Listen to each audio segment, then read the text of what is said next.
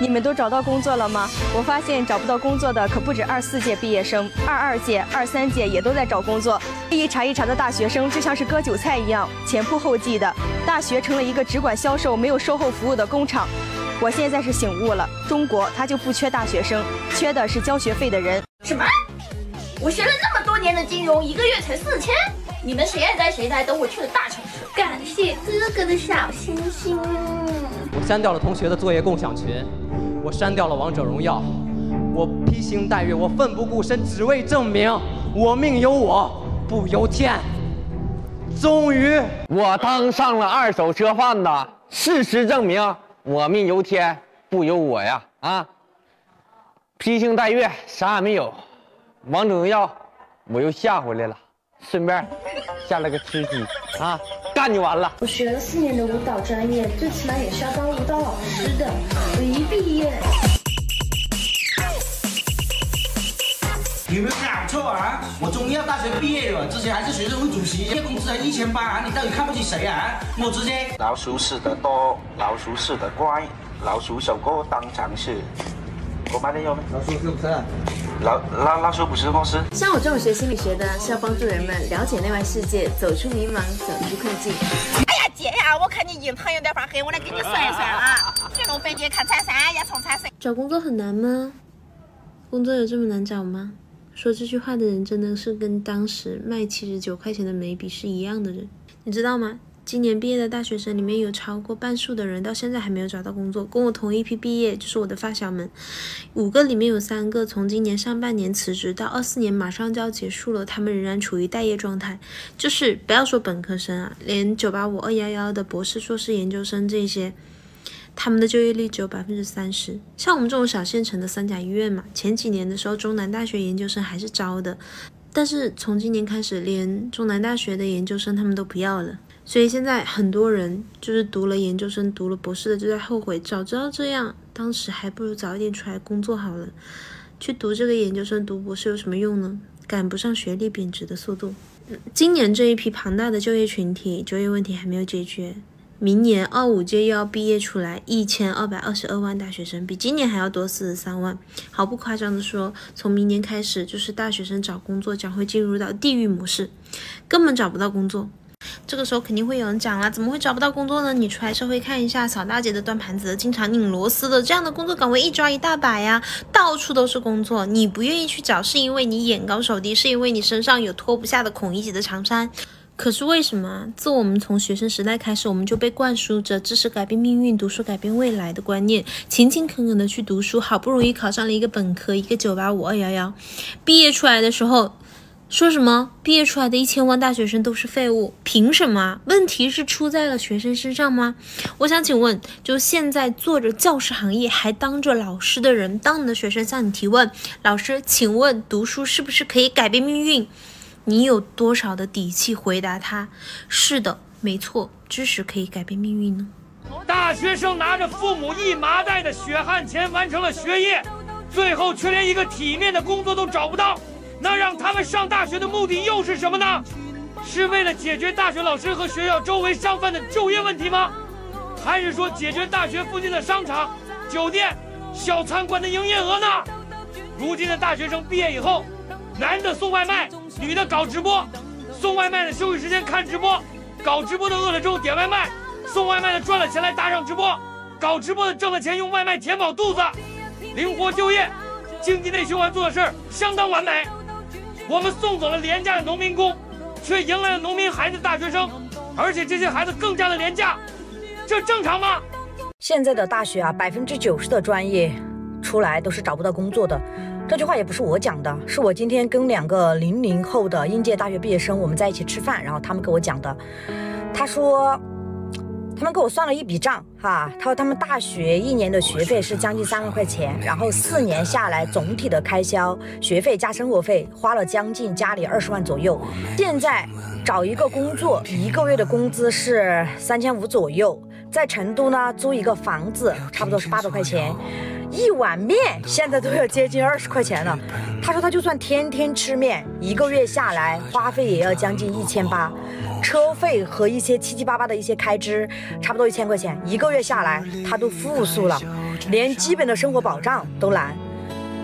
他们后来又跟我讲了一个他们的观点，他说如果他们没有上大学，他们就可以心安理得的去当服务员，去当前台，去当收银员，去送外卖。但是他觉得他们自己上过大学，他们拉不下来那个脸。那上大学这个“大学”两个字呢，反而禁锢着他们。虽然他们觉得工作是没有高低贵贱之分，可是如果他们真的去做了这种人人都能做的工作，他就在问自己，那到底自己读大学的意义又在哪里？因为矛盾呐，所以现在就是高不成的低不就。其实我听了他们的这些话之后，我也在思考一个问题，就是读书的意义到底在哪里？了啊！你以为你养了一个宝贝孩子，其实你是给资本家养了一个孙子。如果还没有看透，那你肯定要被大镰刀割。现在缺的不是大学生，缺的是大学生的钱。卷学历其实就是他们做的一个局。首先作用就是掏空家长的钱包，同时还能减缓社会的就业压力。家长们成了教育的蜡烛，燃烧了自己，照亮了整个教育产业，养活的学校、兴趣班、补习班、文具店。家长们花了那么多的钱，自己的孩子刚毕业就失业。今年全国有一千两百多万大学毕业生，而就业岗位只有六百万。去年和前年还有很多毕业生没工作，根本不是某个网红说的大学生找不到工作，是他们不愿意干。缺口本来就有这么大，学了二十年的知识，到了社会上才发现是过时的，落后行业二十年。学校只会不停地给学生灌输拼搏就能出人头地的思想，从来不告诉学生，在社会竞争中需要拼运气、拼爹、拼谁的脸皮厚、拼谁敢不要命。学生走进社会才发现自己被骗了，努力学习换来的学历在人才市场上竟不值一提，学历贬值的时代已经来了。现在的学历怎么这么廉价？我花了十几年的时间，本科、研究生我就花了七年的时间，每年的学费有一万零八百。我在面试完，面对这样的两千五百块钱的工资，昨天大家说我只配有两千五百块钱的工资。我承认我确实就是在大学的时候只顾学习的，我只脑子里面只想着拿奖学金。我家庭条件不好，我就想让家里减轻一点负担。然后我也可能没有什么脑子，我不会去搞点什么事业做。就是只会做一些一点点的兼职，然后就是也没有什么工作经验，所以出来找工作，就是那些 HR 问你有没有工作经验的时候，我确实是没有。所以你们说只配得两千五的工资，我承认我什么工作经验都没有。我就是想问一下大家，有多少是真正的走下了那个高台，去接受低薪的普通的工作，后面会调整好我自己的心态，放低姿态去找一份能学到东西的工作。真的笑死我了！一千二百二十二万毕业生，多部门联合发声，积极吸纳高校毕业生进入家政行业。三年幼儿园，六年小学，三年初中，三年高中，四年大学啊！学了十九年的知识，精通数理化，还会中文和英文。此地深圳都略通一二的大学生，原来啊是鼓励进厂打螺丝，鼓励送送外卖，鼓励开开网约车。现在啊又有了新的赛道，男保姆、女保洁，这么玩的吗？这两天啊。发改委呢鼓励大学生去做保姆，这个是网上骂声一片啊！这种愤怒呢，我也很理解啊。就像一个家长说的：“你愿意让一个大把大把真金白银培养出来的孩子去做保姆吗？”我肯定不愿意啊。那还有更激烈的意见啊？那怎么国家不号召大学生进什么烟草啊？还有呢，让党员官员的孩子去做个榜样，先做保姆试试看。所有的情绪呢，我都很理解啊。大学生啊，毕业了去做外卖、快递服务员，砸锅卖铁的留学回来也只能月薪三千，这个落差太大了，差不多就是当头一棒啊！怎么可能不骂人呢？第大学就是耍流氓，不管就业，大学就是最大的失职。随便看一所大学，每年的开学季，成千上万的学生兴冲冲入校；每年毕业季，成千上万的学生灰溜溜离校。毕业生们有的回家啃老，有的送快递送外卖。大学的校长们依然在悠闲地过着暑假，老师们依然在忙着搞论文评职称。百分之八九十的学生家庭经济都不宽裕，家长们节衣缩食、含辛茹苦地供孩子上学。四年的时间呐，可不短呐。毕业就失业，回家继续啃老，让原本拮据的家庭雪上加霜。这不是害人吗？既然没有这么多就业需求，为什么要扩招这么多？既然已经扩招了，为什么不管他们的就业？人家工厂公司生产的产品卖不掉，直接倒闭破产清算。大学毕业即失业，你大学凭什么屹立不倒？这辈子做的最后悔的事就是上大学，好不容易考上大学，以为会苦尽甘来，没想到连个月薪五千的工作都找不到。我的毕业证、学位证彻彻底底沦为了一张废纸，我也彻彻底底成为了别人眼中的笑话。现在掏空家里的积蓄供一个孩子上大学，得到的结果是什么？一张文凭，两手空空。明知是个坑，但父母还是要往里跳。孩子难，父母更难。给大家说一下，现在就业形势的严峻，真的不是开玩笑。像我已经是九八五二幺幺的本科背景，然后海外 QS 全球排名前五十的大学的硕士背景，这个情况下，我有非常的丰富的实习经历。微软、谷歌、阿里巴巴、字节，其实我的这个履历已经胜过了百分之九十的人。大概这个情况之下。我找不到工作的，我现在给你可以说一下哈，我两年前我能拿到什么样的 offer？两年前我拿到了某头部新能源车企的工程师岗位，出价一年五十 W 年，校招当时拿了二十来个 offer，我当时觉得天哪，我这么值钱的吗？我很膨胀的。我当时有人跟我说一个月给你一万八的工资，我说你看不起我，一万八你都敢叫我去，我这么优秀。两年后变天了，彻底变天了。我现在去面试，人家说，呃，你好，六千块钱不包食宿，五险一金少交一金，这个情况下是一个外包，您可以来吗？我说，你看看咱是什么背景儿，你让咱干外包？他说，呃，不好意思，我们那个应聘的人全是这个水准，甚至水准比您还高，这还玩什么呀？怎么玩？不光是我，像我中财的硕士同学，然后包括复旦大学、南京大学都是很优秀的大学，跟我一样，履历都是世界级丰富。现在去做那个文员操作系统，一个月六千块钱，领导还天天 PUA 让加要让让他们加班。这些活是以前大专干的，那我就问你，那现在的大专去干什么？现在我们都这样了哈。说一个比较那个什么的话，那一本的同学、二本的同学，包括大专同学，他们怎么办？他们还能有活路吗？世界上究竟要有多少个外卖员才够呢？如果说一开始就告诉我我们没有这个岗位的需求，我们的世界就是这样子，我们从一开始就去做外卖外卖员就好了呀。我们为什么要十几年的寒窗苦读，早晨天不亮就起来，比鸡起的还早，睡觉的时候狗都睡着了，我们还没睡，一直学一直学一直学，努力了半载。他们说少壮不努力，老大徒伤悲。我少壮很努力了，我老大还是徒伤悲。他们说努力是唯一通向成功的捷径，可是现在我已经尽了我全力去努力了，我已经变得很优秀了，我各方面硬实力、软实力都兼备了，可是这个世界告诉我，你压根就没有入场券。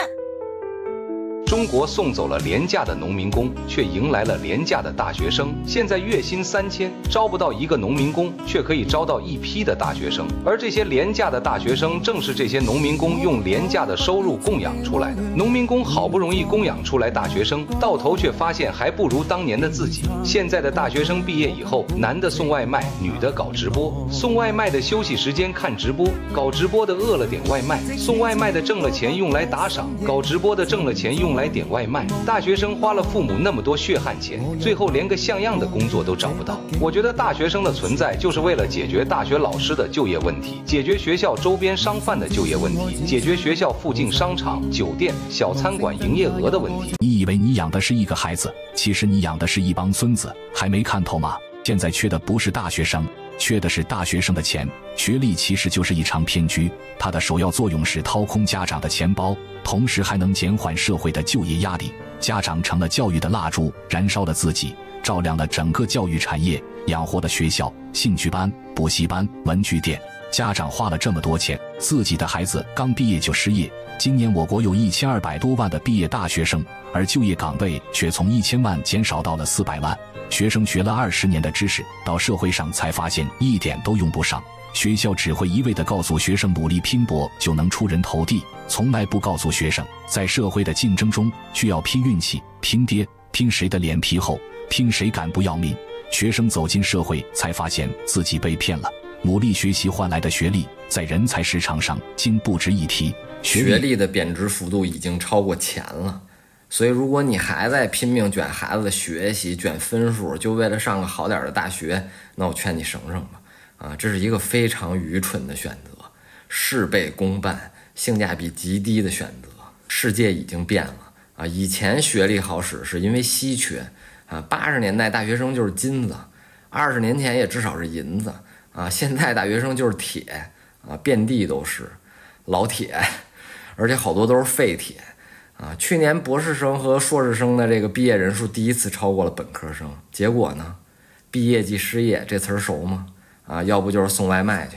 学历在当今社会以及未来啊，最多就能保你个下限啊，什么意思呢？就是一个初中毕业的和你们家大学毕业的孩子，同等能力情况下啊，面试同一份工作，你孩子还能有点优势啊。但凡那初中毕业的能力比你强点儿啊，或者经验比你多点儿，聪明老板都不一定选你。当然了，我不是说孩子就不用好好学习了，而是你学习的目的是什么？你天天声嘶力竭的，弄得家里鸡飞狗跳的啊！以破坏亲子关系为代价换来的到底是什么？啊，我觉得至少应该是掌握真正的知识，是吧？背一首唐诗可能能得分，但理解一首唐诗对孩子更有帮助。啊，再进一步引导孩子能真正掌握学习的方法。一旦他掌握了学习的方法，他将来干什么都错不了。再进一步，根据孩子自身的特点啊，给他规划一条相对明确的路径。上什么大学不是最重要的，甚至上不上大学都不重要。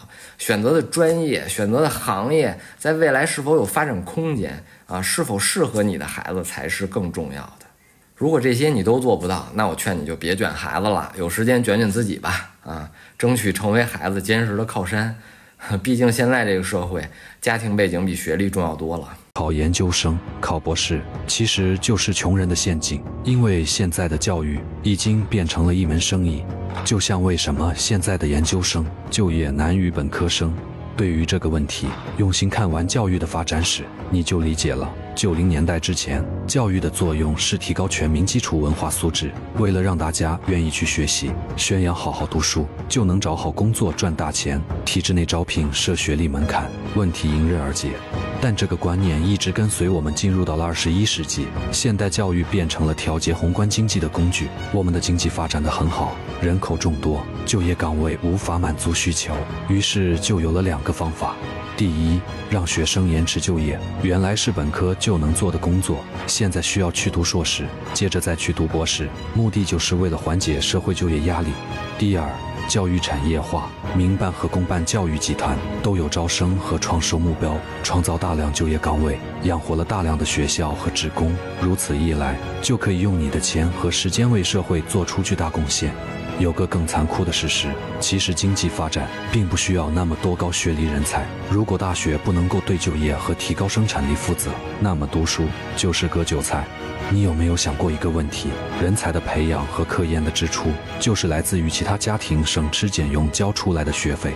万里挑一的天才享受到红利，那剩下的九千九百九十九个人该怎么办？并不是让大家不要去读书，而是适可而止。尤其是普通家庭，千万不要去追追求高学历。你知道一九九八年专家提出大学扩招时，有多少人反对吗？很多老教授言辞激烈，认为大学扩招危害巨大。大学扩招之前，高考难度堪比科举，全国每年一共才毕业八十万大学生。凭着一张文凭，你可以在体制内为官为吏，也可以到体制外享受高薪。不管之前多么贫困，也不管家里有没有背景，一切都将在拿到录取通知书的那一刻飞黄腾达。当时大学生基本都是贫苦家庭的孩子，因为他们更渴望改变命运。哥哥姐姐考不上，弟弟妹妹考，父母考不上，下一代接着考。而富裕家庭即便再有本事，只要孩子考不上大学，就没办法和大学生竞争。那时候，高考是普通人实现阶层跃升的唯一渠道。然而，一九九九年大学开始扩招了，到了二零零三年，毕业人数就达到了一百八十七万。二零零八年首次超过五百万，二零一一年超过六百万，二零一四年超过七百万，二零一八年超过八百万，二零二一年超过九百万，二零二二年超过一千万，到二零二三年超过一千一百万，二零二四年已经逼近一千二百万。所有大学生加起来都快三亿人了，再过十年，几乎人人大学生了。由于大学扩招，不学无术之流也能混个文凭。这帮人无能无识却后台强硬，没有文凭卡着，反而纷纷进入了好单位。你以为的大学扩招是让更多的寒门学子鲤鱼跃龙门，可实际上的大学扩招却是让地主家的傻儿子不因为学历而失去继承资格。二零二三年，上海烟草局公布录取名单，大量专科生赫然起立，一大堆九八五和二幺幺毕业生惨遭淘汰。如果大学不扩招，这些专科生怎么可能拿到文凭？然而，大学扩招的危害还不止于此。由于大学生增长过快，导致师资力量和学校资源严重跟不上，大学生可以短时间增加几十倍、上百倍，可大学教授和科研资源却没那么多。无奈之下，大学增设了很多冷门专业和培养成本极低的文科专业。张雪峰说的新闻人力资源、市场营销、工商管理、汉语言文学、信息管理、物流管理、电子商务、环境工程，就是这些年增设和扩招的重点专业。这对于无数普通家庭来说意味着灾难，因为他浪费了一个年轻人二十年的青春和精力，也浪费了一个普通家庭所有的财力和希望。如果大学不扩招，这些年轻人会很早学一门手艺，找一份工作，省了学费，赚了钱，就能早就业、早买房、早成家。大学扩招后，任由我无会逼着所有人去考大学。当所有人都成了大学生，也就相当于所有人都不是大学生了。大学扩招的第三个危害是社会人才结构畸形。我国是发展中国家，需要的技工远多于大学生，但大学扩招让所有年轻人都心浮气躁，不管自己适不适合上大学，都一窝蜂往大学钻，考不上大学就复读，复读也考不上就成人高考，没人会放下身段从事体力劳动，眼高手低，造成蓝领和白领工资倒挂，工地搬砖的一个月八千招不到人，大学生一个月三千排队面试。大学扩招的第四个危害是社会严重内卷。大学扩招让家长的兴趣都高了，别人家孩子是大学生，自己孩子也必须是大学生；别人家孩子上了九八五二幺幺，自己孩子也必须上名校。于是无穷无尽的家教复读择校，家长陪读，甚至高考移民愈演愈烈。这种竞争从高中一路波及到初中、小学、幼儿园，甚至娘胎。孩子们从小蝌蚪到长大成人的每一年每一天，都是一生中最关键的要命时刻。大量学生被折磨成近视。驼背和亚健康，有的学生甚至抑郁自杀。好不容易大学毕业了，由于找不到工作，又开始卷研究生、卷博士，考研热席卷全国，导致真正适合搞研究的人没有筛选出来，反而弄了一批应试教育的学生跑到了实验室。大学扩招的第五个危害是高校负债严重，一下子增加了几十倍的学生，就要增加几十倍的大楼和一系列的配套设施。于是大学领导成了地产商，纷纷大兴土木搞建设。学校不管有没有钱，都去向银行贷款，还不上贷款就打学校食堂、校内商业设施和打印店的主意，最后还是学生买单。有的学校为了搞钱，甚至让企业冠名大楼，玩起了西方社会那套捐赠游戏。学校大跃进，让职高升中专，中专升大专。大专升大学，名字也一路改，越改越大，越改越离谱。能用省冠名的坚决不用市，能用华和国冠名的坚决不用省。都说文化是金钱的禁地，当一众校领导和教授都成了包工头和商业操盘手，都为了自己的官位使劲钻营的时候，那风君气正的学术之风就会彻底被资本裹挟。所生产出来的学者和专家也就只会为了资本家而摇旗呐喊了。大学靠的是大师，绝不是大楼。有些大学似乎搞反了。大学扩招的第六个危害是加剧了城乡二元化和贫富差距。大学扩招让农村人全去了大城市上学，本来城乡差距就大，为了上大学，农村家庭还得卖猪卖羊。举债交学费，把农村那点可怜的血汗钱全都给城市交了房租和伙食费，导致城市拥挤不堪，农村空心化，贫富差距进一步拉大。大学扩招还顺势推高了房价。大学扩招前，绝大多数考不上大学的农村娃在宅基地上盖房子；大学扩招后，农村孩子都一门心思掏空六个钱包在城市买房子，房价不高就怪了。